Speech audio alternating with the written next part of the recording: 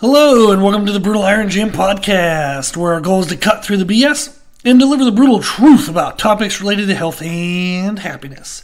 Today's podcast number 1976.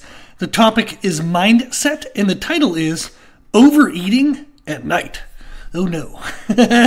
so, I just got done doing a nutrition consultation with a client. We were doing the initial consultation where I get to meet them, get to know more about them, and then we're going to kind of embark on a nice, a nice, fun journey of losing some body fat, and then they want to build up some muscle. So it'll be a really fun goal. Now, one of the things that we talked about was what they thought was kind of holding them back now from being leaner, which was their goal. And they said one of the reasons was they have a late night sweet tooth. They tend to overeat at night and they believe that is holding them back from being leaner.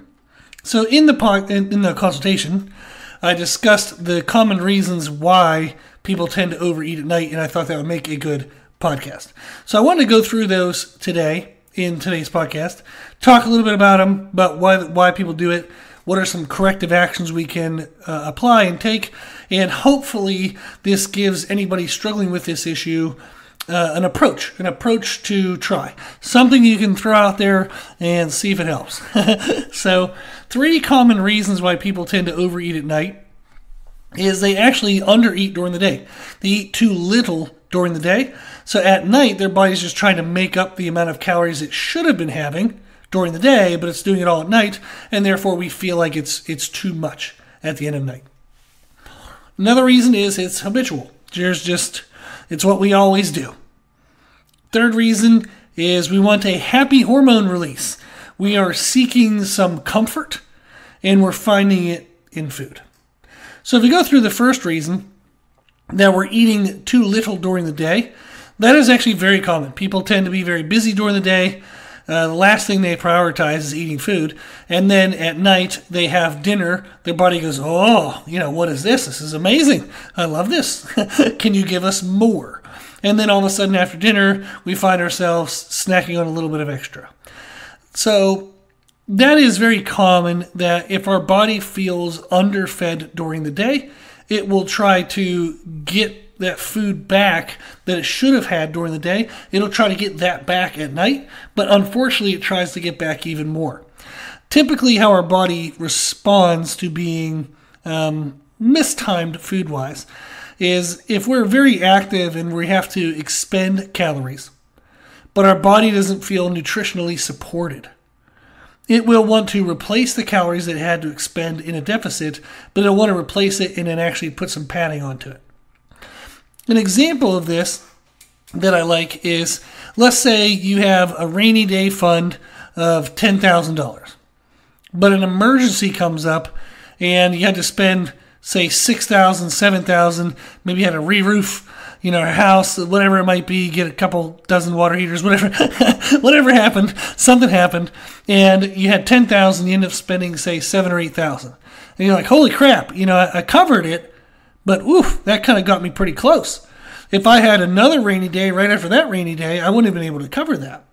So now you start to say, okay, let me rebuild my rainy day fund, but instead of taking it to ten thousand, maybe I need to pad it up to 12 or 14 or even 15,000. So you got pushed close to the limit. Your response is, let me give myself a little more protection. Our body's the same way with calories. We have to expend calories beyond what we're taking in to a considerable amount. Our body tries to protect and build more back in let's say out of your 10,000 rainy day fund, you only have to spend one or 2,000, you'll put that back and you don't need to really pad that, right? That's what it was for. So if we have an appropriate caloric deficit during the day, our body doesn't look to kind of pad extra on, and that's good because that's how diets work is a slow controlled deficit helps us lose body fat. But if the deficit is too large, just like if we had to pay off too much of a chunk of our rainy day fund, the body wants to replace it and add extra back in. How we correct for that? Two general corrections is number one, eat more during the day, and that is my preferred method uh, for clients. Is you don't have to eat more volume of food; you can actually just pick more nutriently dense foods. pick foods that have more calories per volume of food, and that helps a lot. Uh, one e- e- easy example would be is increasing fat-containing foods during the day. Uh, so if you typically have uh, a snack of fruit, but you have that same volume in nuts, like maybe mixed nuts or trail, trail mix, you're going to have way more calories in the mixed nuts than you would for the fruit. Now, that isn't bad. It's not like you're going to counter your goal of fat loss. What we would look to do is we would try to minimize the deficit, not erase the deficit, but minimize the deficit.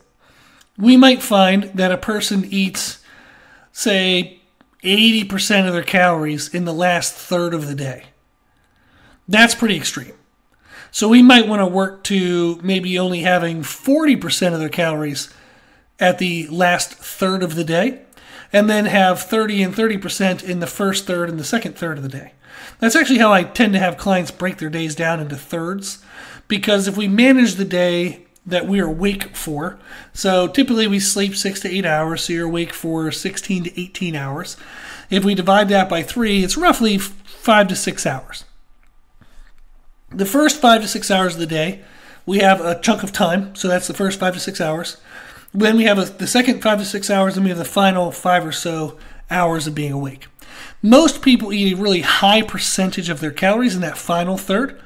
And if you do, and that causes you to have the sensation of overeating at night, we would just increase the calorie allocation, how many calories you're eating, in the first and second thirds of the day. And then you're less hungry at the final third of the day. So you get through dinner and you're like, eh, I just don't I don't even feel the need to eat after dinner now. I've had enough calories during the day that I don't feel like I need so much at night. That's one method. The other method is to account for your calories after dinner as part of a controlled daily intake. This would be similar to intermittent fasting. So somebody might say is, you know, if I'm overeating at night, you would look and say, well, how many calories you're supposed to have every day? Maybe we do the math, you find out you're supposed to have 2,000 calories. Right now, you're eating maybe 22 to 2,400 calories, and that's what's holding you back from making progress. So we would say, okay, go ahead and have 2,000, but you can have it at night if you want, but we have to make sure it's capped at 2,000. So if you still have 80% of your calories in the evening, that's going to be okay, assuming we can still maintain the proper caloric amount in the evening. Meaning you're eating at night, but you're not overeating what your what your target is. I don't like that as much because people tend to have a harder time controlling that hunger that they have at night if they've really gone a long part of the day without any food. Now, Intermittent fasting works for a lot of people, but I've also seen a lot of people that it does not work for. Uh, I, I tend to lean people towards eating more earlier in the day, and that has been a better correction uh, overwhelmingly majority of the time than trying to allow for the eating at night, but to try to control it within a certain calorie window, they, they still tend to overeat. But that is a correction and it does work for some people. The second reason that people tend to overeat at night is just habitual. It's it's a routine. Maybe you have dinner, you do a few chores to wrap up the day, and then you sit on the couch and watch TV. And anytime you sit on the couch and watch TV, you also have some food in your hands. You just have this snack, and it's what you do. It's what we do. We have dinner, we do chores, we could put the kids to bed, you know, clean up around the house. Then we sit down, and we finally get to enjoy ourselves and just relax. And often that feels better with some food. so it's just a habitual thing, it's what we do. And then we have to realize okay, well, if I'm not making the progress I want, and I see that I'm eating pretty much all the time after dinner, and at that time, sometimes I make healthy choices, sometimes I don't. We could say, okay, there's an opportunity for us to improve upon what we do quality wise maybe make some adjustments and be able to make the progress that we're looking for. So, some corrections that we have one is an activity substitution. So, rather than sitting on the couch and eating, Maybe you'll sit on the couch and do Wordle. If you remember, I don't know if Wordle's still popular, but that was a big craze. And people would sit down, they'd do Wordle, and that's something you can tactile do with your fingers and hands, and it keeps your brain a little busy while you're supposed to be watching TV, but you're not watching TV. That's just the way it goes. you just want some noise in the background while you do some Wordle. That can work. Maybe like Sudoku or some other puzzles.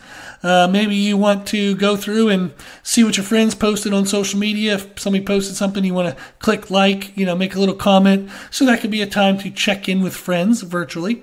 You can also just do that for real. You can call people and text people. Uh, you can also maybe enter your daily foods in your food tracking app. If you struggle to find a time to do that, that could be a good replacement for eating at night. So one correction is a activity substitution. Another correction we have is to create controlled but appealing options, meaning sometimes we eat well, you know, we just have, oh, I just want a protein bar, just a little bit of something. Great, you know, fits within my calories, really protein rich item. You feel good about that. But sometimes you eat your face full of cookies or some ice cream and you're like, crap, I shouldn't have really had that. So if we are going to have something at night, we can say, hey, here are four or five options that I know are good for me that I actually like, and knowing what they are ahead of time helps us make those choices more often than the cookies and cakes and crap foods. So you can do 100 calorie snack packs of cookies and crackers if you want. You can also do lower calorie but high volume options. Uh, some people will whip like uh, mix together whipped cream and jello and that doesn't really add up to a lot of calories, but it's something that's kind of like a, a pudding consistency. Uh, there's people also just eat Jello. Uh, there's a lot of foods that are very low in calorie, but they're high in volume, and that can be something that you can kind of snack on. That will not help if you're actually in a caloric deficit. So, if your real reason for eating at night is the first reason, which was you're eating too little during the day, you'll find that these food substitutions don't work because you're going to eat it and then go, oh, I'm still really hungry and I want like all of these. so if you find that happening, then you're probably going to look more to that first reason and maybe start adjusting your daily calories, and that can maybe be the correction you're looking for. The third reason why we tend to overeat at night is we want some happy hormones. We want we want to be happy. We've made it through a day. We survived the day. So the food is seen as a reward which releases dopamine, and we like that. or it can be seen as a comfort. Maybe you have an emotional, stressful day, and you just want, uh, uh, you know, a hug via some brownies. you want a brownie hug, you know, uh, and that can be the serotonin release. So dopamine we tend to get from rewards. Serotonin we get from just things that make us happy. Uh, and it's nice. It's nice to end the day feeling like you made it through and you got a reward, or feeling like you got something good at the end of the day. I was telling the client that whenever I was really overextended when I first opened the gym, I was training 50 hours face to face every week. Then I still had to write their nutrition programs, training programs. I had to clean the gym, train myself, do all the things you typically have to do for financial crap. And I mean, I was just destroyed, absolutely destroyed. But one thing that I really liked was after after I trained everybody, after I trained myself, after I did the programs, it would be somewhere between 11 p.m. and 1 a.m. And I'm like, it's finally my time. When it's my time, I just want to eat something warm. I was just, can I eat something warm and fresh? so I would cook some steak and rice. Maybe I would swing by uh, the Walmarts and pick up like a frozen pizza, just something that I could make and it was warm and fresh when I ate it. Because typically during the day, I had to eat just anything and everything that I could get my hands on and face on, uh, whether it was cold chicken and rice, whether it was you know the third protein shake of the day, whatever it was. It was typically not an enjoyed food, uh, and it wasn't usually in like the best state. I would eat it if it was you know borderline stale. I just gotta get some calories in my face. I don't care. So at night, I was like, I want to freaking enjoy it. I want it to be a good thing, and I would realize that that was why I was eating. Like I was eating at night because I needed to, but that sensation of the need for the want for a reward or some happiness, I could definitely resonate with, and I can definitely uh, associate with that feeling. So, some corrections that we can do if that's why you tend to overeat at night is if you're eating because it brings you happiness, we have to look for other things that can make you happy. Maybe you can search on uh, social media, maybe Instagram. You can find some funny memes to send to some friends. You know, finding the memes makes you laugh along the way. Then when you find a really good one, you send it to your friend, then you wait for your friend to respond, and that's a fun experience, right?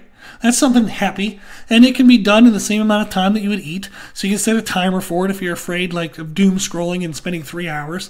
Just set a 15 minute timer, and whatever funny stuff you can find in 15 minutes, you send to a friend, and then that's fun. They either text you back that night or the next day, and you get a couple laughs, and it's an enjoyable experience.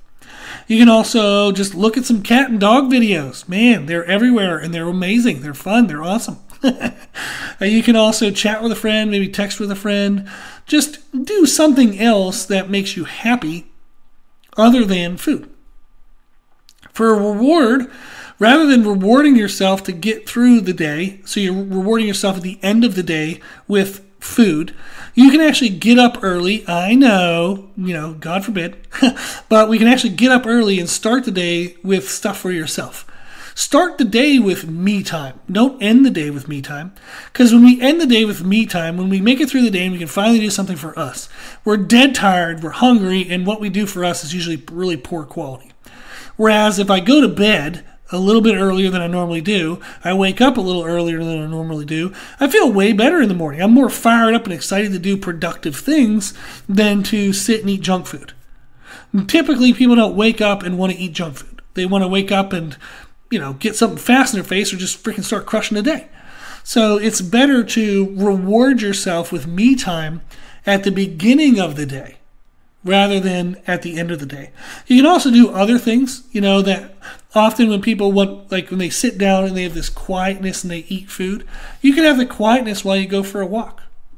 You can actually do some meditation. I know these sound really like, you know, bullcrap kind of things, but they the people who actually do this stuff genuinely says it works.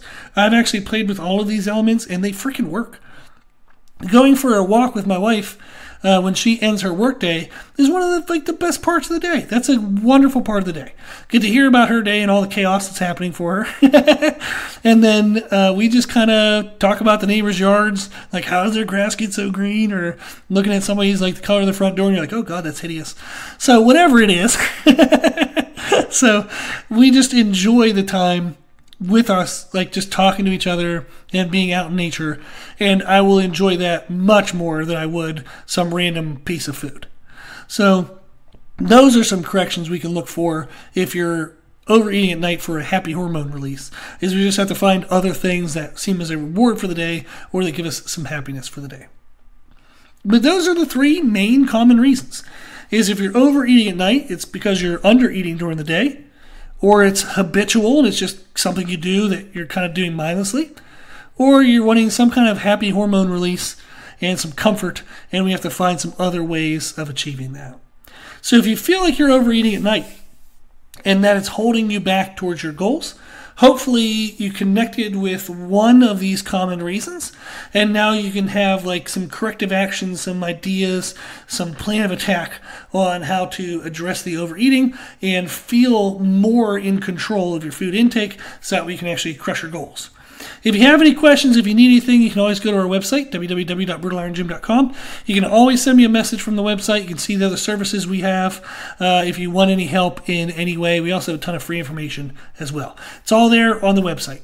If you like the podcast, please share the podcast. If you like the podcast, please consider donating to support the podcast, which you can do on our website.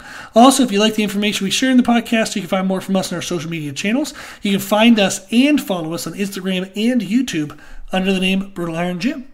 As always, I hope this was helpful, and thank you for listening.